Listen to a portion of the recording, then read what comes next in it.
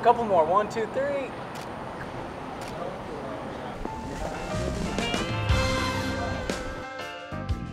Well, welcome to Reba's Place. We're in Atoka, Oklahoma, which is on Highway 6975, in between Tulsa and Dallas. And this is the first time I've been in the building since it's been completed. How about this, Pat? Wow. Hi there. How are you? Good. How are you? Oh, I'm great. nice to see you. Do you want to walk the whole space first? or Can do- I? Yeah, go ahead. Go Okay. go do that. It all looks so warm and homey. How you doing, Nick? Good to see you. Oh my gosh. Unbelievable. Wow. Oh, that looks great. Never could have imagined this at all. This is beyond all my wildest imagination.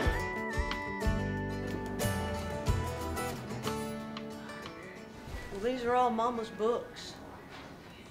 When Susie and I were cleaning out the house, Stringtown, that was my job to get all the books in order and box them up. Mama never threw a book away. Every bedroom, every room except the kitchen had books in it. Really, like, you should be so proud to have your name on this because it's it's good. Mom and Daddy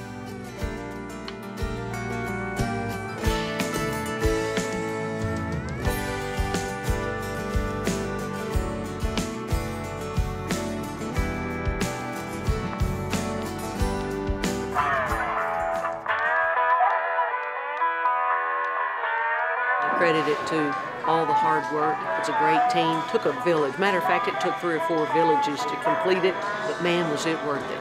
I hope y'all come see us.